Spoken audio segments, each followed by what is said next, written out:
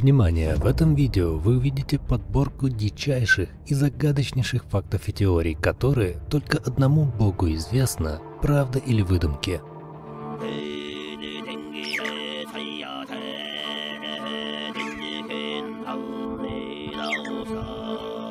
Итак, речь пойдет о таинственном озере Байкал, столь же древнем, как и наша планета, но тем не менее до сих пор до конца так и неизведанным. Байкальчик. Красавчик. Байкал.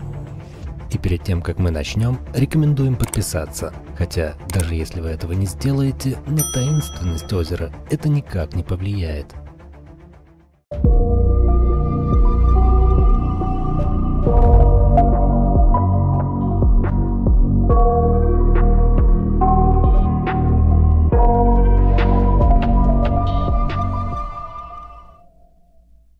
Факт номер один. Это самое глубокое озеро в мире. Оно содержит около 20% мировых запасов пресных озерных вод нашей планеты. Вода, взятая из озера, не нуждается в дополнительной обработке и пригодна для непосредственного потребления. Да-да-да, золотая рыбка. Байкал, вода. Второе. В озере обитает более двух тысяч разных видов живых существ, но дело в том, что две трети из них не встречаются больше нигде на планете. Даже вирусы Байкала уникальны, ведь там были обнаружены виды, которых нет в других водных экосистемах мира. Следующий факт. Большинство озер живут 10-15 тысяч лет, так говорят ученые.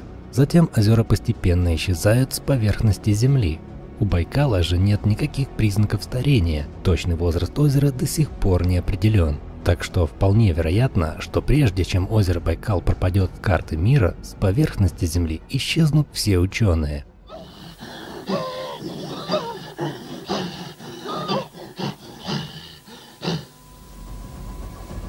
Четвертое. Считается, что Байкал – это зарождающийся океан, так как его берега расходятся со скоростью до 2 см в год, подобно тому, как расходятся континенты Африки и Южной Америки.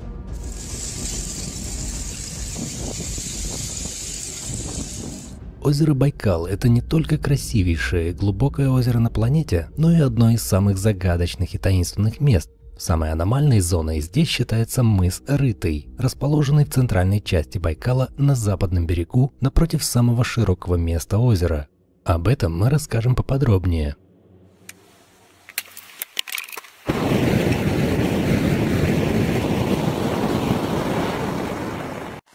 Прошло пять минут, а он горит. Я уже руки погрел в него.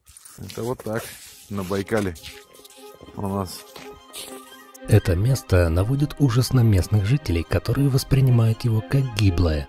У коренного населения оно считается запретным для посещений. Здесь даже не говорят о рытом, потому что это священное место.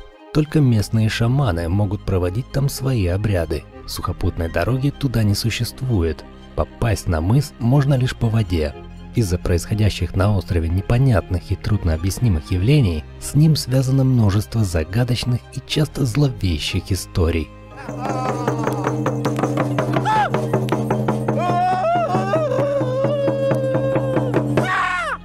Рыбаки часто делятся историями, как видели в Байкальском треугольнике флотилии деревянных кораблей времен 19 века с экипажем на борту. В момент появления миража на воду спускается туман, появляются четкие силуэты, а через мгновение иллюзия полностью исчезает. Но все это всего лишь цветочки. Смотрите далее. Считается, что на мысе Рытой находится самая сильная аномальная зона Иркутской области, так называемый Байкальский Бермудский треугольник. Там отказывают навигационные приборы и техника, а внезапные сильные порывы ветра исключают применение в этих местах авиации. Многочисленные свидетели рассказывают о таинственных светящихся шарах, огненных столбах и миражах, Место мистическое, всегда здесь что-нибудь происходит, вырубается электроника, техника, вертолеты разбиваются, люди пропадают. А бывалые путешественники советуют брать с собой счетчик Гейгера, потому что у многих сторожилов близлежащих поселков сохранились воспоминания о группе геологов, которые нашли в этих местах радиоактивную руду еще в начале 40-х годов. Практически все члены экспедиции получили смертельную дозу радиации при выносе руды к берегу Байкала. Если среди зрителей есть реальный свидетель чего-то из перечисленного, настоятельно просим поделиться своей историей в комментариях. Это поможет пролить свет на эти таинственные явления, а мы продолжаем наш перечень феноменов. Еще одна особенность этого географического объекта в том, что над озером в районе мыса Рытый не образуются облака. На мысе сохранились остатки каменной стены, длина которой превышает 300 метров.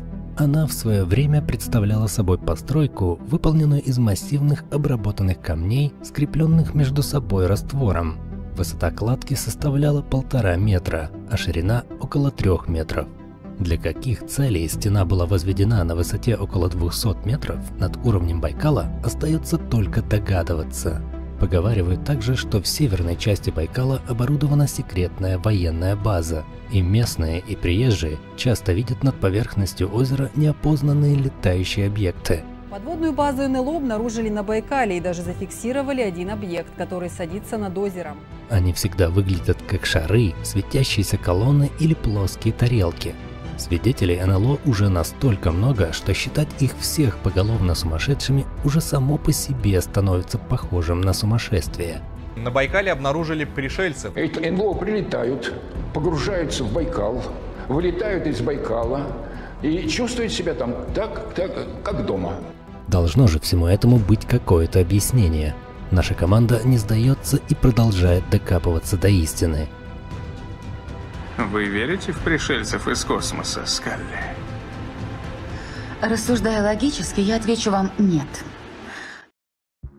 В хорошую погоду при полном штиле здесь внезапно образовывается огромная воронка. Местные жители считают, что так открываются адские врата, которые затягивают души грешников в преисподнюю. Закручиваясь по часовой стрелке и набирая бешеную скорость, воронка также неожиданно схлопывается спустя считанные минуты, Подобно этой воронке, все попытки ученых найти объяснение этому явлению также схлопываются.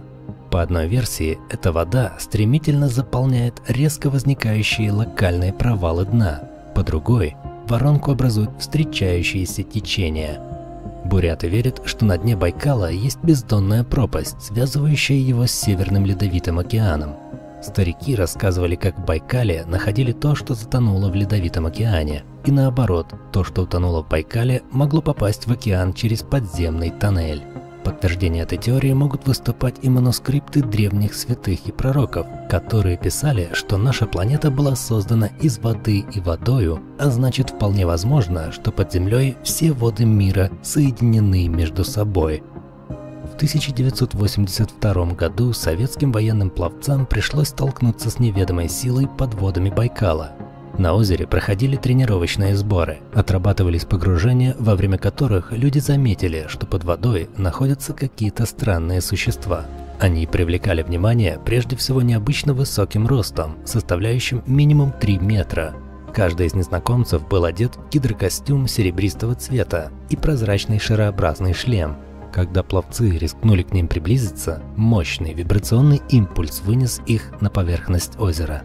В течение двух месяцев все водолазы, участвовавшие в тренингах, погибли при странных обстоятельствах. Спустя несколько лет была предпринята попытка изучить ту же часть Байкала, но там были найдены лишь утонувшие каменные статуи людей и животных.